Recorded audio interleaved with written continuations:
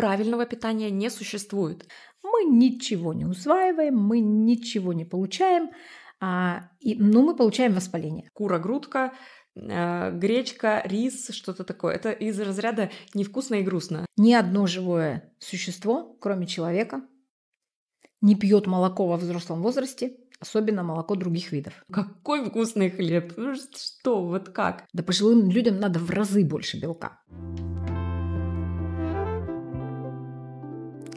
Ну что, Марин, снова здравствуйте, что называется. А в прошлой серии диалогов о здоровье мы с тобой подняли очень важную тему. Если кто-то, кстати, не посмотрел, обязательно посмотрите это видео. Мы разговаривали о похудении, о правильном похудении, которое э, в отложенной перспективе не вредит здоровью. Сегодня я хочу, чтобы мы с тобой более детально разобрали тему питания. Ну, в принципе, очень логично из прошлого нашего диалога с тобой вытекает, потому что ну, хочешь разобраться с лишним весом, разумеется, нужно разбираться со своим рационом питания. Мы сказали также в прошлой серии о том, что э, как правильно э, важно есть, да, о том, что важно определенные промежутки, интервалы соблюдать. Сегодня хочу более детально поговорить о том, что есть. Марин, давай начнем с того, что ты часто говоришь, что правильного питания не существует. И для многих людей это сразу прям шок, потому что ну, мы даже так говорим, я на ПП, как бы все об этом говорят. Я на правильном питании. Мало кто говорит, что значит это правильное питание. Ну, все, видимо, по-разному его себе представляют, но тем не менее, как так, что его не существует? Ну, потому что мы же не одинаковые. У нас разные организмы, разные непереносимости, разный метаболизм, генетические обусловленности, в конце концов, процессы в организме разные. У нас разный вес, возраст, ну и так далее. Поэтому правильное питание это как бы предполагается, что это одно питание, которое должно подходить для всех. Но это же не ну, так. какой-то принцип. Ну, принцип правильного питания это исключили сахар, глютен, молочку. Вот, собственно, тебе и правильное питание в большинстве своем. Есть, ну, конечно, Знаешь... есть, есть, конечно, те, которые заходят дальше, не, я просто могу с тобой вообще поспорить о том, что э, часто люди, которые говорят «я на ПП», там вообще не про сахар, глютен, молочку. Там э, для кого-то это ограничение жиров вообще. Э, для ну кого-то да, это ну просто да. исключить фастфуд. То есть это вот это скорее там с точки зрения нутрициологии. Ну, это говорят. знаешь, когда у меня клиенты спрашивают, они говорят, ну вот я и так на правильном питании. Я говорю, правильном для кого? Вот. Ну да, потому что питание должно быть подходящим. Вот. Под запросы мы... вот этого конкретного организма вот в этот конкретный момент времени. То есть мы сразу, мы как бы оставляем ПП, только первое П в этом неправильно подходящее. Подходящее. Да, подходящее да, то есть сегодня речь пойдет именно о подходящем питании для конкретного организма в конкретный момент времени. Потому что, опять же, мы меняемся, угу. что-то с нами происходит, и, естественно, наш рацион питания, он тоже под, это, под эти обстоятельства должен подстраиваться каким-то образом. Однозначно, абсолютно. Вот. Прекрасно. Тогда вопрос.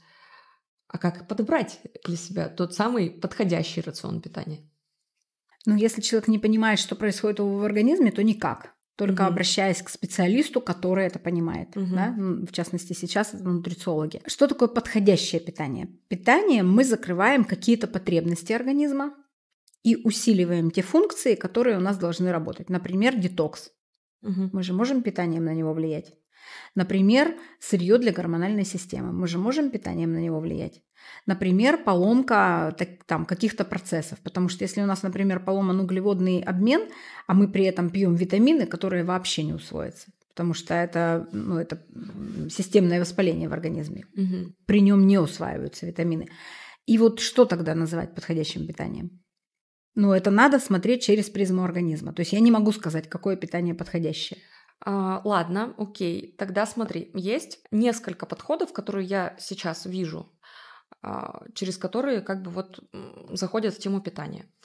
А, первый подход питание, там, которое от, отвечает потребностям твоего организма с точки зрения энергозатрат. То есть, грубо говоря, если ты там спортсмен, у тебя цель а, там, нарастить мышечную массу, то там ты в рацион добавляешь больше белка. Мы все видели вот эти тарелки в социальных сетях, кура-грудка, э, гречка, рис, что-то такое. Это из разряда невкусно и грустно.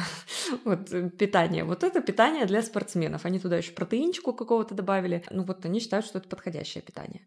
Там, если ты худеешь, ты ограничиваешь калории. Ну, это тоже мы уже это обсуждали. Второй подход есть, который я сейчас вижу, который немножечко тревожно мне за этим наблюдать, это когда берут какое-то состояние или диагноз в организме человека и, значит, говорят, если у вас проблемы в щитовидной железе, уберите помидоры, что там, а, картошку и так далее. Если у вас там проблемы в другом каком-то органе, уберите еще там перечень.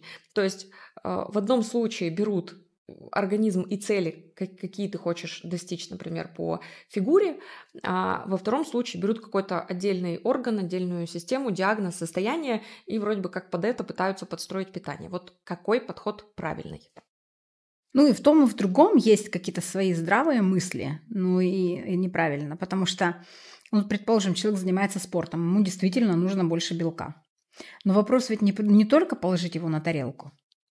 Вопрос в том, чтобы этот белок усвоить, а потом вывести. Потому что, чтобы он усвоился, надо, чтобы в желудочно-кишечном тракте, как минимум, ну, была там соляная кислота, например, да, те же самые ферменты, чтобы в кишечнике не было воспаления. И тогда он усвоится. Если он не усвоится, он будет догнивать в кишечнике. И этот человек придет к другим проблемам. А дальше его надо вывести, потому что у нас белок как устроен? Это такая как бы вот молекула, скрученная между собой, вот как клубок просто, да, и эм, организм должен ее распутать, угу. чтобы из нее, с нее снять аминокислоты, как Я бусинки. очень люблю этот пример, просто да. вообще. А, потому что в кишечнике у нас могут только бусинки вот эти всосаться, аминокислоты сами. И потом они едут в печень, и печень уже формирует из них новые мышцы, новые там, ну, короче, вот mm гормоны там, например, те же самые. А нет, не тогда белок, когда вот он по ЖКТ идет, он, он нам чужеродный до тех пор. И вот когда организм его разбирает и снимает с него бусины, остается вот это азотистое основание, так называемое. И оно частично идет, конечно, на то, чтобы у нас там давление поддерживалось, чтобы сосуды расширялись, а частично должно быть выведено. И оно выводится у нас почками в виде аммиака, ну, мочевина, мочевая кислота. Если человек, например, нагрузил себя белком, но при этом он не может его либо усвоить, либо вывести, будут проблемы. И они появятся не с понедельника на вторник. И потом человек идет лечиться. Например, там мочекаменная, подагра та же самая, да, давление то же самое. Белка переел. Да, и не, не связывает это между собой. И он думает, ну как же так? Я спортом занимался, у меня было правильное питание. Правильно. Да, а почему у меня вот это вот все? Во втором случае, какой ты сказала? Когда мы берем берем проблему какую-то, да, диагноз. Да. Во втором случае у, у любого диагноза есть причина, по которой он возник. Как правило, например, если мы берем аутоиммунный диагноз, то это кишечник из кишечника все аутоиммунные заболевания у нас возникают. И когда мы восстанавливаем чистый кишечник, мы как бы профилактируем очень многое в организме. А если мы, например, просто вот для щитовидной железы нельзя брокколи, ну, грубо говоря, там, или вот это, чего кстати, они там запрещают? А, это интересная штука. Недавно вот пример прям. У одного, кстати, эксперта, у него, значит, в социальных сетях первое видео.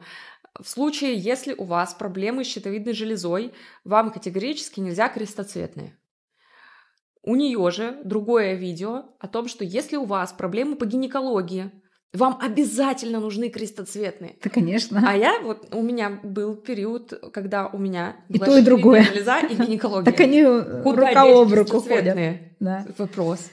Ну вот поэтому я и говорю, что нет такого понятия, как правильное питание. Любой продукт мы рассматриваем через призму организма, который будет его усваивать. И с одной стороны, вот у нас есть щитовидка, и ей нельзя брокколи. Ну, хотя кто сказал, что нельзя вообще? Эксперты. Это большое заблуждение. Не, ну тазиками нельзя. А вот в рационе она должна быть обязательно, потому что это сульфорафан, без которого наша печень не будет работать. Не будет работать печень, не будет здоровья у щитовидки. Ну, как бы взаимосвязанные вещи. И поэтому любой продукт мы рассматриваем через призму организма, который будет его усваивать и выводить. Частый мой пример – помидоры. Это очень такой хороший пример, да. С одной стороны, там ликопин, анти- антионкологический фактор, один из самых мощных. А с другой стороны, там солонин, антинутриент, который запускает воспаление, который поддерживает аутоиммунную реакцию. Помидор хороший или плохой? Помидор можно в правильное питание или нельзя? И вот одни говорят, ешьте помидоры, это ликопин. Вторые говорят, не ешьте помидоры, это э, посленовые, их нельзя. И если человек не... А потом еще кто-то да. говорит, это вообще самый плохой овощ, потому что он выращивается на пестицидах и гербицидах. Не, ну это уже другой вопрос. Это вот как Он сейчас, знаешь, все туда. сок сельдерея пьют.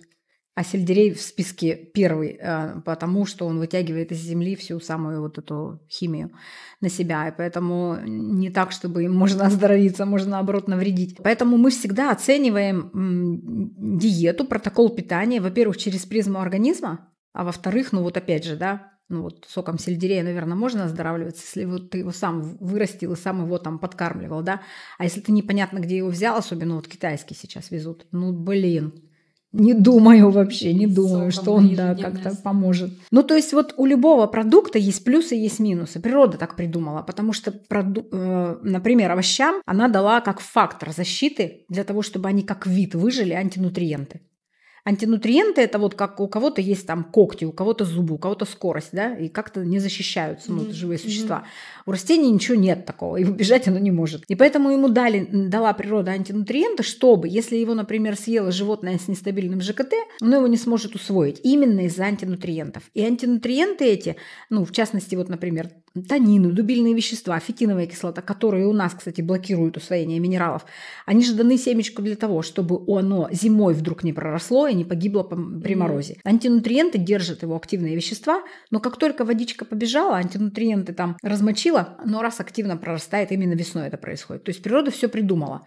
Животное нестабиль... с нестабильным ЖКТ съело, оно его усвоить не сможет, значит, у семечка есть шанс выпасть на землю и прорасти, и как виду угу, сохраниться ему. Угу. Поэтому вот эти факторы прежде всего, конечно же, важны.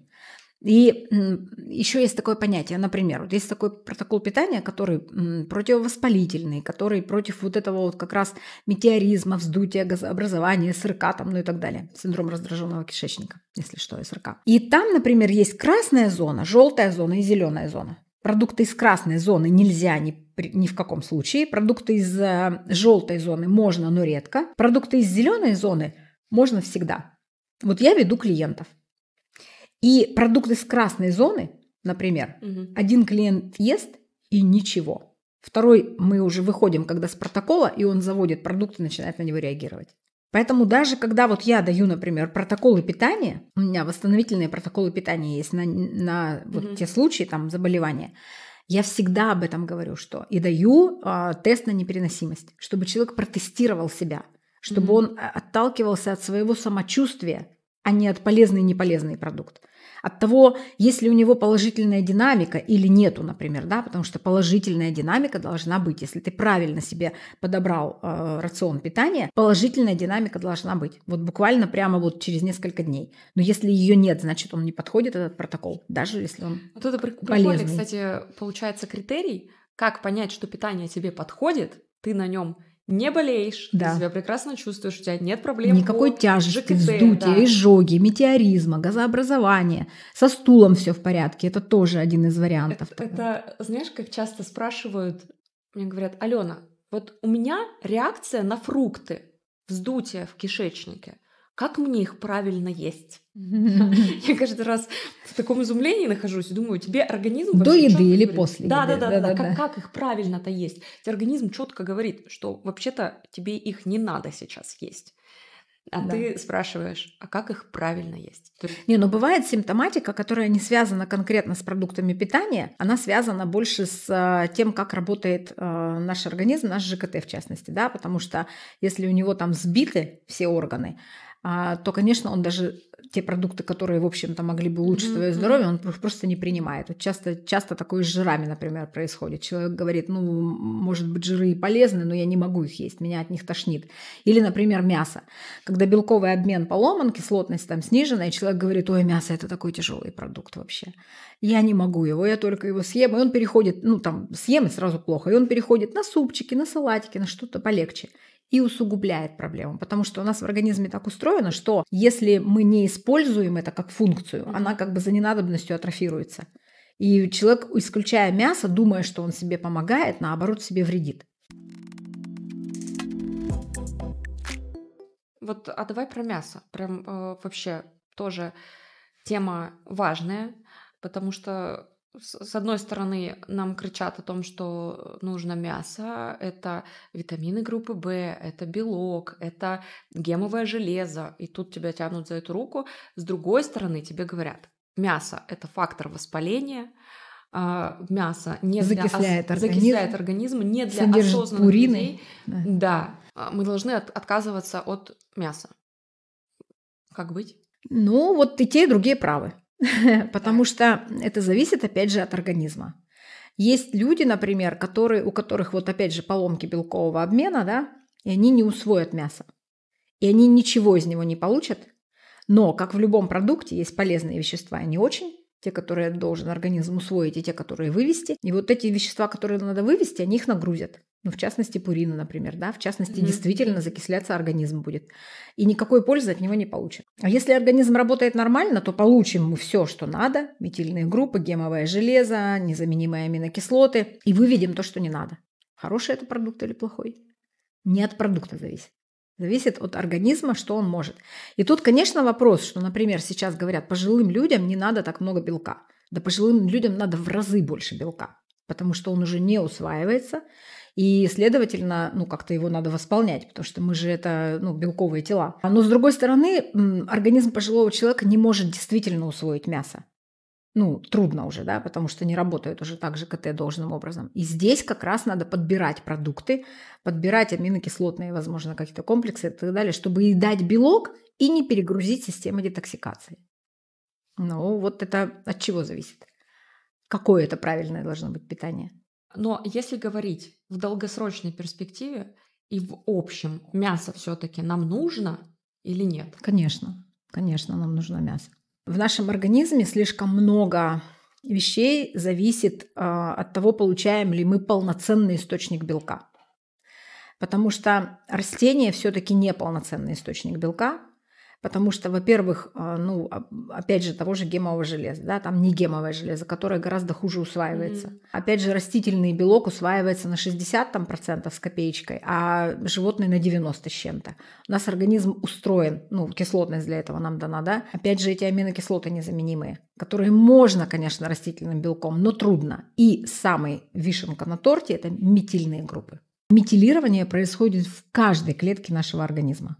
Но это, Это процесс. это процесс, который за очень много функций отвечает. Мы без метилирования не жили бы. И вот метильные группы мы не получаем ни с чего больше. Ни с чего больше. И их надо тогда датировать Мгм. давать. Потому что если человек не ест мясо, ну есть там вегетарианцы, например, которые по этическим каким-то причинам не могут есть мясо, тогда надо поддерживать организм, чтобы получать те вещества, которые мы получаем из мяса. Но если у человека нет никаких этических соображений, а есть просто неприятие белковой пищи животного происхождения, потому что ему от нее плохо, тяжело, изжога, тяжесть, запоры и так далее, то, конечно, с этим надо работать и не отказываться от мяса. Понятно. Опять же, в области ЖКТ лежит основна- основной вопрос здесь. А, окей, давай э, про мясо сказали. Еще один э, такой важный блок продуктов, э, про который тоже много споров, это молочка. Стоит исключать полностью, не стоит исключать вообще и демонизировать. Кому-то можно, кому-то нельзя, в каком количестве, в общем, как-то давай более подробно эту тему раскроем, потому что сейчас часто нутрициологов обвиняют в демонизации продуктов и пр- прежде всего в демонизации как раз-таки той же самой молочки. Ты ешь молочку или нет? В твоем рационе есть молочные продукты? Есть, но немного. Мгм. Но когда я восстанавливалась, я ее убирала полностью. Мгм. Давай начнем с того, что ни одно живое существо, кроме человека, не пьет молоко во взрослом возрасте, особенно молоко других видов. Ну, давай- могу тебе возразить тут. Я, у меня кошке, если дать молоко, она будет его пить. Ну, кошка в природе, например, навряд ли. Ну, конечно, если она его найдет, она его выпьет. Нет, ну в плане, если ей дать, то она от него Ну не да, откажется. Да, да. Она не откажется, конечно, не откажется. Но это не так, чтобы она прям вот его ест там где-то в дикой природе. Она его не найдет просто в дикой природе нигде. Ну, нет такого, чтобы вот в природе грудное вскармливание закончилось, все. И живое существо это переходит на другие источники питания. Но это даже, даже не это самый главный фактор. Дальше. Молочные продукты бывают фермерские, настоящие, натуральные, а бывают а, магазинные, промышленные. И это два разных продукта. Потому что любой продукт вот природного происхождения, тот, который нам дала природа, он содержит ферменты, которые помогают его же расщеплять. Например, ту же лактозу, тот же казеин, например, да, которые содержатся в молочке, и они трудно усвояемые для нашего организма. Вот в фермерском молоке, э, если вы там, ну, знаете этого вот человека, который выращивал, или там лично эту корову, да, и доверяете, а, тогда еще ок как-то, да, сметану, например, там творожок. Пастерилизованная молочная продукция не содержит этих ферментов. И по факту вы получаете эти тяжелые вещества, но расщепить их нечем. Наших ферментов недостаточно. В молочке содержится лактоза, это молочный сахар, и казеин. Ну, лактоза, бог с ним бы еще. Если есть, нет лактозной недостаточности, то окей. А вот казеин – это сложно усвояемый белок. У нас у всех сейчас из-за того, что у нас много углеводов, малоподвижный образ жизни, мы практически там ну, спим как попало, у нас у всех снижены эти функции, и мы не можем расщепить этот белок. И он, получается, догнивает в кишечнике, вызывая воспаление. И самое главное, что в молочке плохое, это инсулиноподобный фактор роста, который позволяет теленку с 30 килограммов вырасти до 300 за год. Это инсулиноподобный фактор роста, который у нас задирает инсулин, а задранный инсулин приводит уже к очень отдаленным последствиям, вплоть до онкологии. По поводу казеина. Очень много споров, очень много мнений разных. В частности, от э, представителей фитнес-индустрии, потому что люди, которые активно занимаются спортом, для которых цель набор мышечной массы, казеин – это один из источников. Это долгий белок. Да, то они наедаются. Они, нет, они за счет этого его и любят. Потому что казеин надо выпить на ночь. Тогда, когда ты не получаешь никаких других источников, а он будет долго усваиваться, он 8 часов, по-моему, да, усваивается. Да, да. Например, сывороточный протеин ты выпила, и он тут же в мышцы залетел. Мышцы нагруженные, они требуют белка для того, чтобы расти. А казин – это долгий белок который у тебя будет вот всю ночь давать твоим мышцам как раз вот расти, потому что они же именно во сне восстанавливаются и растут. Вот за это они любят казеин. И тут да, казеину нет равных. Но обычный организм, особенно который уже, знаешь, такой не самый а, идеально работающий, а, казеин нагрузит. А бывает такое, что это спортивное, ну то есть человек занимается спортом, а, он э, то, что как это называется, на массе, да, там постоянно тренировки, при этом он нагруженный обалдеть как, в ЖКТ там уже непонятно, что происходит, но и при этом человек вот э, сидит на творожке, на казеине, в этом случае? Слушай, ну тут я не комментирую. Я как бы, ну, потому что много факторов слишком, да. Помимо того, что человек тренируется, занимается, хочет мышечную массу, помимо этого надо не забывать еще, что у него есть обменные процессы, что он тоже будет не молодеть, да, что будет снижаться метаболизм, как только он прекратит вот эти интенсивные тренировки, потому что метаболизм это такое понятие, как вот люди говорят, у меня медленный метаболизм, а у меня быстрый. Так, такого не бывает. Вот мы пошли, метаболизм ускорился. Вот мы сели, метаболизм замедлился. Ну, то есть метаболизм реагирует на наш образ жизни. И поэтому пока человек занимается, да, у него там все сгорит, грубо говоря, да. Угу. Но как только он перестал заниматься, тут же видишь, генетическая обусловленность тоже важна. Потому что, например, у человека есть по онкологии подарочек от родителей, да. да. И вот этот инсулиноподобный фактор роста, ну, вообще не надо. А у второго нету. Ну, и он более-менее будет это есть и не доедет до туда. Ну, как бы это тоже, тоже надо учитывать. И опять мы возвращаемся к тому, что питание должно быть подходящим. Да, да, да. Самое, знаешь, что мне нравится сейчас? Прямо у меня в голове лампочка загорелась.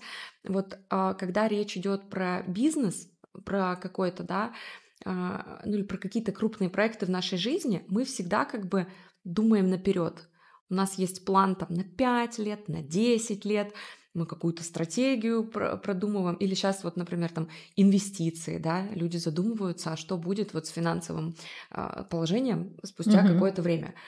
А ведь со здоровьем та же самая история. То есть, когда мы подбираем рацион питания, мы должны немножечко вперед заглянуть, а, собственно, а что я хочу получить? Через 5 лет, через 10 лет.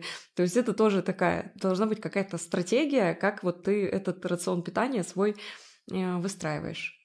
Прикольно. Ну да, интересно, вот человек, например, делает новый ремонт, и он часы просто проводит там в строительных магазинах, выбирает себе кафель, там обои, что-то, мебель там, да, и не готов потратить какое-то время, чтобы разобраться со своим организмом. Он готов туда вкладывать деньги, вкладывать время, потому что, ну, как бы вот А свой организм же это же не Да, ремонт, да, который да. можно переделать, блин, кафель поменять, там, да, другие обои сделать. Да, пожалуй, да. Короче, прикольно. Надо понимать, какие продукты вот э, к чему ведут, и надо ли нам это или нет.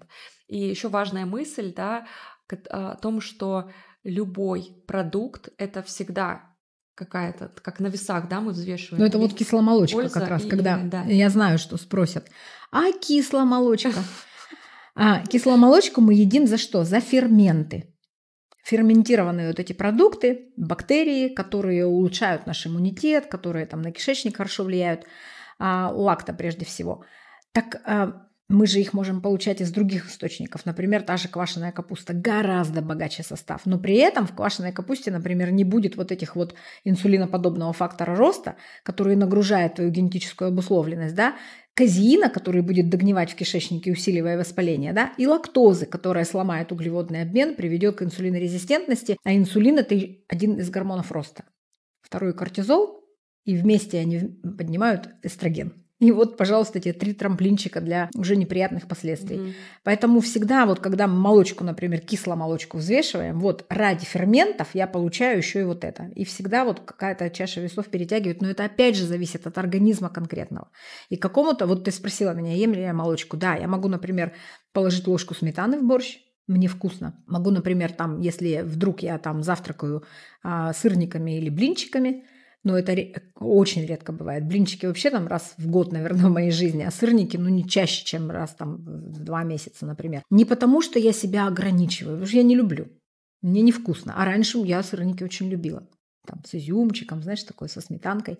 А мне сейчас просто невкусно. Я не этим наедаюсь. Мне не хочется уже этого всего. Вот. И поэтому у меня из, из молочки что еще может быть? Творожок, Сыр. Сметана, да, да, и сыр. Вот сыр – это тоже ферментированный продукт, в котором уже этими ферментами, потому что, ну, как бы я рекомендую только твердые сорта, типа вот пармезан, пятилетней выдержки. Там эти ферменты уже расщепили тот казин Мгм, мгм. а, и уже расщепили ту лактозу. И поэтому это, да, тот продукт, который, пожалуй, чаще всего у меня. Ну, там раз в неделю, например, я могу себе позволить, не позволить, а раз в неделю мне хочется, например, там сыра. Ну, может, реже. А, вот. И молочка для меня не стала каким-то вот таким... Хотя раньше, например, я кофе с молоком. А, ну, то есть вот, да, раньше молочка была. Сейчас не хочется. Мгм. По молочке еще очень важный. А откуда мы будем кальций получать? Кальция в молоке нет. Вот просто успокойтесь на этот счет. Потому что даже тот кальций, который есть, он не биодоступен для нас. Ну, то есть скажем, что он есть, но он Да. просто не биодоступен. И так как он не биодоступен, его организм не может усвоить, и на этом уровне как раз идет тоже закисление.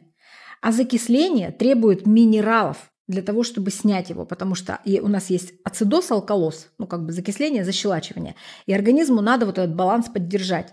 И поэтому молочка усиливает воспаление, и организму нужен кальций, он его забирает из костей Собственно. Поэтому мы не получаем из молочки кальция. Это давным-давно уже опровергнутое, как бы, ну, такой опровергнутый миф. Вот если, например, ферментированная молочка, там да, там есть вот эти ферменты. А если пастерилизованная, нет, магазинная. И поэтому а, кальций откуда появляется в молоке? Трава. Коровка ест травку. Ну так ешьте травку. Там гораздо больше биодоступного кальция. Только разжевать надо очень тщательно эту травку. Чтобы, опять же, высвободить ферменты, которые есть в травке. И они помогают усвоению тоже, они помогают пищеварению. Ну, то есть в, в продуктах, в принципе, все Нюансов есть. обалдеть сколько. Но давай, я думаю, что вот основную мысль мы уже п- понятно донесли о том, что да, любой продукт это всегда польза, то, что нужно усвоить и то, что нужно вывести. И это всегда относительно конкретного организма. Почему говорим подходящее питание? Потому что это можно сказать только конкретно э, организма конкретного, который будет усваивать, выводить и так далее. Это, надеюсь, понятно. Но еще один у нас остался продукт, который тоже много мифов вокруг него, много обсуждений. Одни говорят, категорически нельзя убирайте, другие говорят, прекратите э, демонизировать. Это глютен. Есть, не есть. Знаешь, мне понравилось, а, понравился пост а, одного эндокринолог, по-моему, это или диетолог был, не помню уже сейчас, которая честно написала. Я раньше говорила, отвалите от глютена. глютен вообще тут ни при чем. Но сейчас я начала исключать его из рациона своих клиентов и увидела результаты. Поэтому глютен сам по себе не надо демонизировать. Это просто белок. Опять же, как да. и казеин. Да, который содержится в продуктах. Вот когда он начинает преобладать, вот тогда начинаются все проблемы. А так как сейчас у нас его много в рационе, и, и плюсом еще помимо глютена у нас есть э, то, что запускает воспаление, а глютен его просто поддерживает, потому что глютен по факту это клей. Угу, Он заклеивает просто ворсинки нашего кишечника. Мы ничего не усваиваем, мы ничего не получаем. А, и, ну, мы получаем воспаление. А воспаление запускает проницаемость кишечника и аутоиммунные болезни, которых больше 140. Поэтому глютен как бы это не то, что должно быть полностью исключено из рациона. Я вообще, для меня хлеб, честно говоря, это, я не знаю, мне кажется, можно отказаться от всего. Э, сахар, молочка, ну его вообще без проблем. У нас же есть рецепторы такие в мозгу, глютеоморфин. Он активирует вот это вот все, и мы получаем реально наслаждение, поэтому ну, от вот этого трудно отказаться, знаешь, правда. Э, с сахаром, например, было, отказываешься от сахара, потом возвращаешь в рацион, и невкусно, слишком да, сладко, да. и не хочется. С глютеном не С так. глютеном не работает. Да. Вообще это подстава, потому что ты отказываешься, потом пробуешь и думаешь, ну какой вкусный хлеб, ну что, вот как? Но если вообще углубляться, то вот этот вот запах свежеиспеченного хлеба, это же реакция гликирования. Это вот как раз ну, этот запах, который вот возбуждает рецепторы наши. И некоторые производители этим пользуются. Они, это я когда в Красноярск, в Краснодар мы приехали, когда я увидела это первый раз, когда пекарни на каждом шагу, и они выбрасывают вот этот запах специально искусственный, да, да. да. И идешь и прямо, боже, свежеиспеченными булочками. Заходишь туда, а там прогорклым маслом пахнет э, внутри. Ну, то есть они этим пользуются, потому что на самом деле это очень, мы зависимы от этого.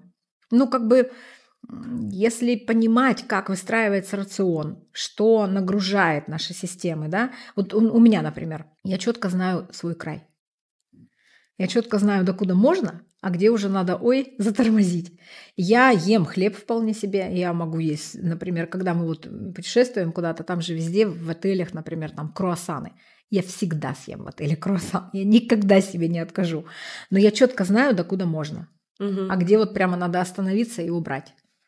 Ну и плюс хлеб. Сейчас же есть хлеб а, разные. Есть безглютеновые, есть вот эти вот хлебцы, которые меня очень сильно выручали, гречневые. Я... А, пекут хлеб на закваске, пекут хлеб э, из гречки, например. Ну, то есть выходы есть. Эти хлебцы, которые когда-то выручали, я на них смотреть, честно говоря, не могу.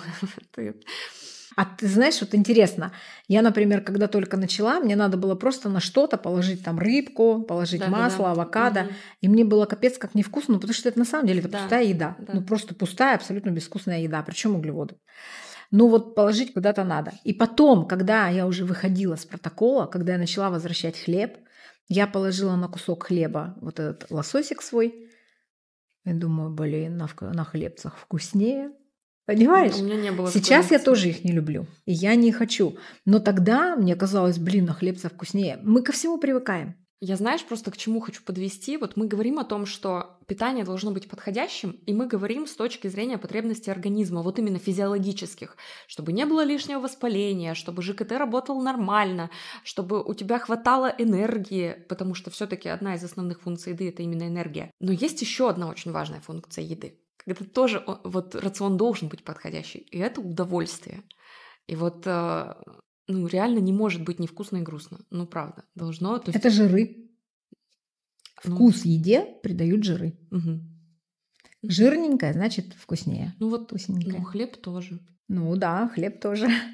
Ну, понимаешь, когда мы едим вот обезжиренную еду, она сухая она невкусная, потому что жиры как раз усиливают вкус, они придают вкус, они насыщение дают нам. Mm-hmm. И жирная еда, ну, я имею в виду, конечно, в меру жирная, да, потому что бывает такая, что Сейчас, просто там... Когда ты говоришь жирная, люди представляют себе какой-то, знаешь, пирожок в масле такой нажаренный на рафинированном подсолнечном. Нет, я имею в виду, что, например, вот мы сварили гречку и съели ее на сухую. Mm-hmm. Или мы сварили гречку и положили туда кусочек маслица например. Да, да, да. Мы эм, поджарили курицу без масла на тефлоновой сковородке, да, или мы ее сделали, например, там на масле ГХИ с лучком, там, например, да, да там какой-то вот а, жирный, там, ну пусть даже сметаны угу. добавили, а жиры усиливают вкус.